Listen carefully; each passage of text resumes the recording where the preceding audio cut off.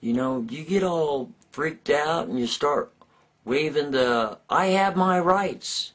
I'm an American. I don't care what you are. And I'm a New World Order soldier. Okay? And you are under martial law. You have no rights. The Constitution, what the hell is that? Is that toilet paper? You know, I did take a crap this morning and I wiped my ass. It, it was, the paper was kind of brown. It did have some writing on it. Hmm. Freedom of what? Freedom of speech. Oh no, that went down the toilet with my crap. I mean, you were on the internet years back, right? Didn't you see the signs? All right. Why do you think the United States borders were so fluid? Both the Canadian and the Mexican border.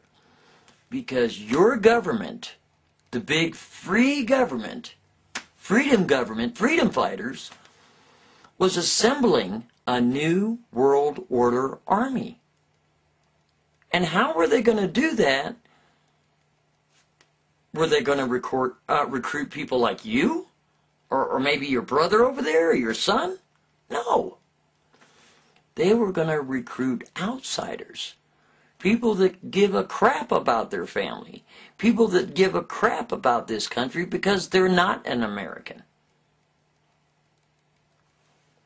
I mean, I'm not saying that all those people did that. Of course not. Only a very select few. But how are you going to get that select few to do anything unless it's porous?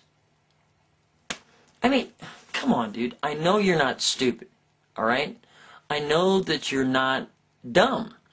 Don't you remember reading all those blogs and seeing all those blogs and seeing all the comments and on the message message boards back in early 2007 about how there would not be a 2008 election. It would be postponed because of a, uh, let's say, an, um, a national emergency. Don't you remember seeing that? And for the most part, the president would become king of the United States. Don't you remember seeing that? Dude, wake up. But it's too late now. See, the beauty of it, the beauty of it all is that I can shoot you dead in the street. If you decide to walk across the street to get a drink of water out of that mud puddle, I'm a soldier. I can take your life without any responsibility, without any repercussions at all. Why? Because I'm a new world order soldier. You're just a pawn. You're nobody. You're trash as far as I'm concerned. And why am I telling you this? It's kind of like a movie. You know? The bad guy tells the good guy how it all occurred.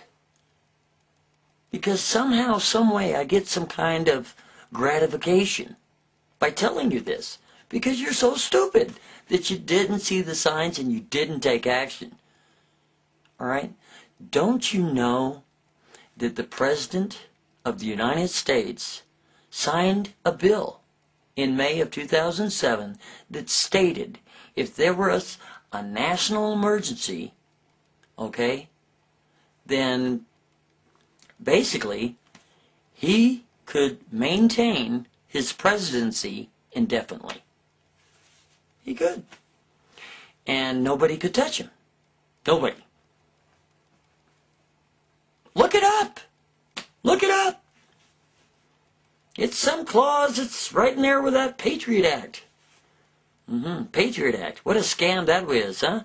That that's the biggest scam going, isn't it? See, that was the beginning of the end right there. But you're so stupid that you didn't see it. And now look at you.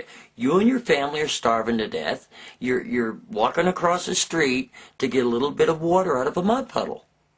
You're not driving around your eh, BMWs. You're not driving around, okay, going up to the mountains and going to Vegas and going to the Bahamas and Hawaii and, you know, getting laid and doing drugs and drinking on. That shit's gone, buddy. You are a slave to the New World Order. How's it feel? How does it feel? Tell me how's it feel. Whisper to me. How does it feel being a slave? And you know what? You know what the funniest thing about the whole nine yards is? Everybody thinks, oh, it's a Secret Service, and oh no, it's a CIA. Oh no, oh no, it's the FBI that did all. No, it's not. No, it's not. It's the banking system. The banking system, baby. That's who rules the world. The man with the most money wins. You know that. I, I got to get back to marching. I got a lot of neighborhoods to, to scout out and take some people down. The people that are, are not going to submit. But um, if you happen to live until you go to bed, think to yourself, why am I not free? Why? Because you didn't do a goddamn thing about it when you had the chance.